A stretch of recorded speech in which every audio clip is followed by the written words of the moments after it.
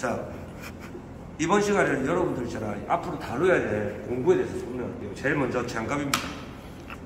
우리 학교에서 주어진 장갑은 세 종류입니다. 여러분들 이걸 뭐라고 할까요? 목장갑. 그렇죠. 이걸 목장갑입니다. 근데 과연 이걸 우리가 목공 시간에 거의 사용을 하지 않습니다. 왜? 약해서. 너무 미끄러워요. 그리고 가시가 많죠. 그래서 이거는 무슨 장갑이랄까요? 목장갑. 이거는 코팅 장갑인데 반만 코팅되었다 해서 반, 반 코팅 코팅. 장갑. 여러분들 이걸 많이 씁니다. 근데 이거의 단점은 뭘까요? 느슨해요. 음. 그래서 이것도 위험합니다. 제일 많이 사용하는 게 이 장갑입니다. 훨씬 손모양 나고 여유가 있습니다. 제일 좋은 거는 장갑 안 끼우는 게 맞죠. 그래야지 나무의 결을 느끼면서 할 수 있습니다. 장갑을 끼는 목적이 뭘까? 안 다치려고. 내 손을 보호하기 위함입니다. 근데 목공에 있어서 여러분들 가구를 만들 때 왜 때로는 장갑을 그 손을 만질까? 왜? 사포는 잘 되었는지.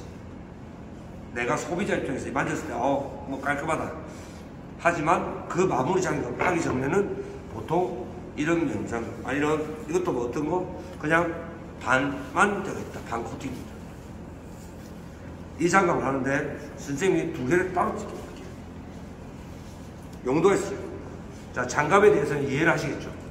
네. 이해를 하시겠죠? 네. 그래서 여러분들은 보통 이 장갑을 많이 끼십니다. 왜? 이 장갑은 직접 나무를 자르거나 킬 때, 정밀한 장갑 할 때. 자, 장갑을 이해를 했고요. 그 다음에 이제 하나씩 봅시다. 여러분들 공구는 총 세 종류가 있습니다. 직접 내가 전기라든지 어떤 충전의 역할이 아닌 오로지 손의 힘으로 할 수 있는 것들. 뭐예요? 망치. 이건 뭐예요? 쇠망치. 이 부분은 맞죠? 아, 빼는 거. 그래서 여러분들 이 방식 이 뭐예요? 톱. 큰 톱. 등 등배기 톱이라고 하고요. 이거는 양날 톱이라고 합니다. 날이 양쪽에 이런 것들을 여기 있는 것들 뭐라고 할까요? 도구. 수공 수공구 손수자 손의 힘으로 할 수 있는 걸 수공구라고 합니다. 여러분들은 이제 수공구를 많이 할 거예요. 기본을 알아야죠. 그 다음에 전기염을 주세요. 전기선. 네.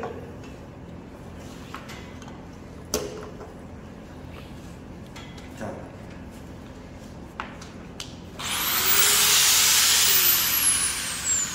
이걸 전기로 움직이는 공구, 전동 공구.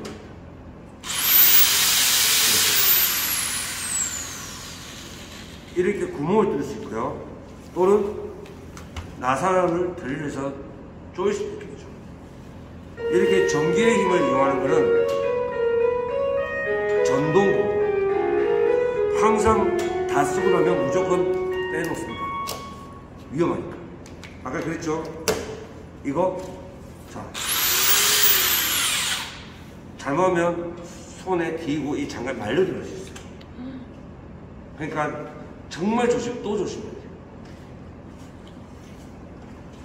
다 했으면 큽니다. 자, 이렇게 전기의 힘을 이용하는 겁니다. 전동공을 합니다. 이거 뭘까요? 사포. 맞죠? 이걸 사포는 사포인데 무슨 사포? 전동. 전동 사포. 자. 마지막 물론 한 개 더 보여드릴게요. 이거는 뭘까요? 드릴. 절일인데 무슨 절일? 전동. 이걸 충전드려요. 전기를 충전시켜요. 무슨 말인지 아시겠죠? 네. 충전해놓고 오. 자 힘은 당연히 누가 씁니까? 전동.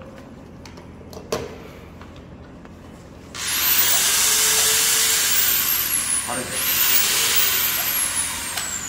그래서 보통 이거의 목적은 이렇게 뚫는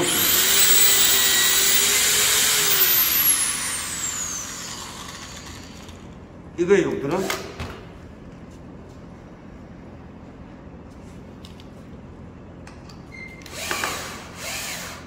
나사를 쪼는 거예요. 그리고 자 보세요. 여기에 보면 다 똑같아요. 여기에 버튼이 있습니다. 뭐든지 기계는 다 오른손 접이가 만들어졌어요. 이렇게 하죠. 자, 먼저 파지법 잡는 방법이 있습니다. 이렇게 잡으면 위험할 거 아닙니까? 여러분 생각해 보세요. 이렇게 하면 그래서 검지는 항상 이거 기계를 잡으세요. 그 다음에 가운데 손가락으로 이걸 이렇게 합니다. 이해하시겠어요? 네. 지금 선생님이 한번 시연을 알겠지만은 기계에 파지가 준비되어 있습니다. 이게 돌아가요. 그래서 파지는 검지는 여기, 그 다음에 가운데. 그리고 쪼을 때는 뭐 어떻게? 어깨. 손목을 하면 안 됩니다. 어깨로 이렇게 거. 그리고 여기 보시면 남바가 있죠. 이게 강약입니다. 그 다음에 이게 원, 투가 있어요. 당연히 원보다 투가 더 세겠죠. 이거는 내가 드릴의 힘을 조절하는 거고, 자, 우리가 일반적으로 이 쪼일 때, 이 나사 길입니다, 이게. 전 세계적으로 똑같아요. 시계 방향. 시계 방향은 어떻게? 들어가는 거예요. 그게 들어가야 되죠. 그러면 이게 눌러져야 돼요. 여기. 근데 반대로 풀 때는 이걸 눌러야 돼요. 그래서 어떤 드릴에도 우리에게 하자표가 있어요. 빼는 거, 넣는 거. 이것도 마찬가지예요. 자, 어떤 현상이 벌어지지 한번 볼까요?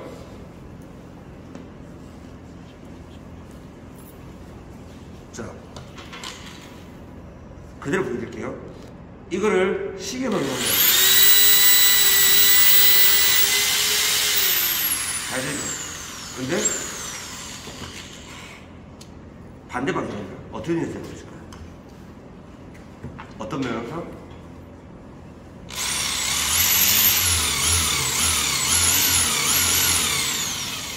타죠. 봤어요? 선생님이 힘을. 이런 애도 있습니다. 이게 엄청 뜨거워요. 그래서 내가 잘 안 들어갈 때는 분명히 역방향으로 볼까요? 알죠? 소리가 나죠. 네. 어, 턴 줘요. 이해하시겠어요? 그래서 항상 이 방향이 주의해야 됩니다. 이해하시겠어요? 네. 자, 이제 다 됐습니다. 모든 가구는 원리가 똑같아요. 뭐냐? 내가 만약에 이렇게, 이렇게 합시다. 그러면 기본적으로 상식입니다. 내가 이렇게 받겠죠. 네. 그러면 무조건 여기에 박을 때요. 자, 가까이 보세요. 내가 이렇게 박아요. 예를 들면. 그러면 얼만큼 들어가야 될까? 이 못이. 최소한 이 부재. 이 부재의 두 배 또는 세 배입니다. 최소한 이렇게 들어가야 돼요. 보이나요? 최소한. 보여요? 그래서 선생님 이걸 만들려고 하면 몇 미리가 필요해요? 아니요. 딱 보면 알아요. 이거는 얼마나 들어갈까? 얼마 들어가지 않잖아. 이해하시겠죠? 그래서 이걸 합니다. 자, 결합의 방법은 여러 가지가 있지만 일반적으로 여러분들이 잘 알고 있는 거 이거 뭐예요? 이건 뭐예요? 망치.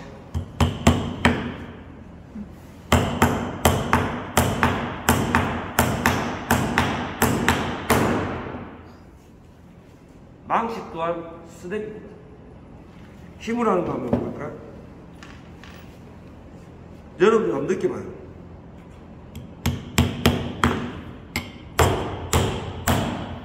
정말 숨 아프고 어깨 아파요. 그냥 부드럽게.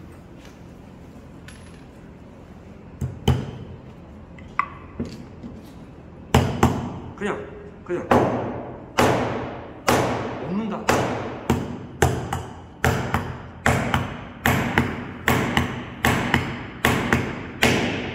그냥 넣는다. 그리고 무슨 뜻이야? 치고 위치 잡고 치고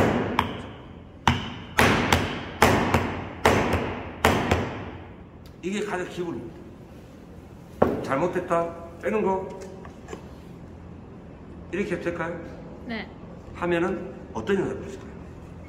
이렇게 튕겨 나올 것 같은데. 이렇게는? 여기에 자국이 생깁니다. 음. 그래서 얇은 합판 또는 이걸 대고 뽑아야 돼요. 왜? 왜 그럴까요? 모양 안 남으라고. 이 나무를 보호하기 위함입니다. 깨끗하죠? 이건 상식입니다. 못은, 못은 누구나 다 박을 수 있어요. 근데 얼마나 잘 박는 게 아니라 어떻게 하면 안 아플까? 여러분들 야구 선수 엘보라는 거잘 알지? 엘보. 엘보가 뭐야? 팔꿈치. 예, 맞습니다. 망치 또는 골프 또는 야구 간절히 쓰는 게 너무 무리가 되면 엘보가 와요. 그래서 이거를 사실은 이 망치로 해서 엘보가 오는 사람이 많습니다. 목수들. 그런 자기가 못해서 그래요. 일반적으로 우리가 결합 방법은 못, 나사 또는 피스 그리고 제일 중요한 거 자, 한번 보세요. 내가 이렇게 박아볼게요.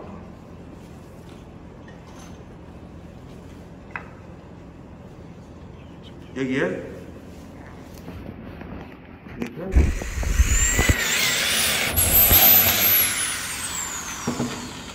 여러분들 느끼세요?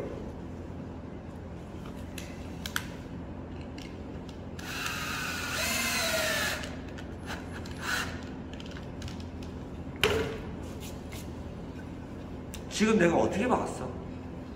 먼저 구멍을 냈지. 왜? 그냥 박으면 이게 흔들릴 수 있어요. 그래서 내가 원하는 위치를 딱 잡고 이걸 딱 고정한 다음에 먼저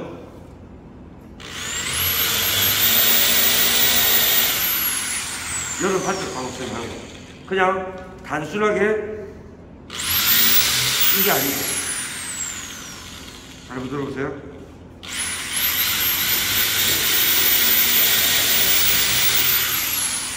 느낌 와요? 소리 들을래? 그냥 무작정 한 번만 하는 게 아니고 여러분 다 알다시피 오토바이 타듯이 떼기듯이 맞죠? 지금은 여기까지 가는 거예요. 지금 좀 쉬었다가 쉬었다가 정확하게 12시 정각에 다음 얘기를 할게요. 네. 자, 지금까지 얘기했던 건 잘 들어보세요.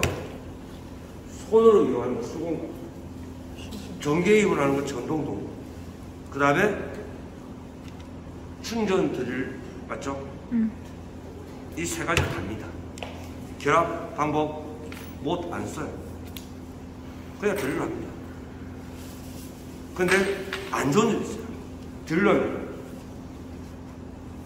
시간이 지나면 녹슬이 죠 그래서 이걸 방지하기 위해서 어떻게 이걸 좀 깊이 넣습니다.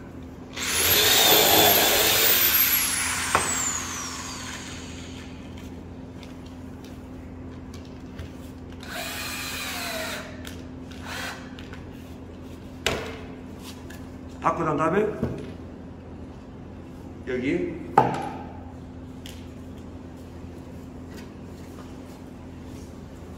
이걸 목공본이라고 합니다. 이거를 조금 넣고 박습니다. 그리고 이걸 잘라냅니다. 손 조심하세요. 일단 선생님이 왜 이걸 박았을까요? 그래도 나사를 안 보이게 하는 게 제일 좋은 거겠죠. 맞죠? 그러면 사람들 아 이거 비싼 나무다. 그래서 비싼 원목에는 다 나사 없어. 이걸 다 박았습니다. 이해하시겠죠? 이것보다 더 쉬운 게 뭘까요? 총으로 쏘는 거예요. 그것도 말씀드릴게요. 정확하게 15분 후에 12시 정각에 다시 이 자리에서 뵙겠습니다. 지금까지 수공구, 전동공구, 충전공구 이것만 설명을 한 겁니다. 아시겠죠? 네. 자, 여기까지입니다. 감사합니다. 네.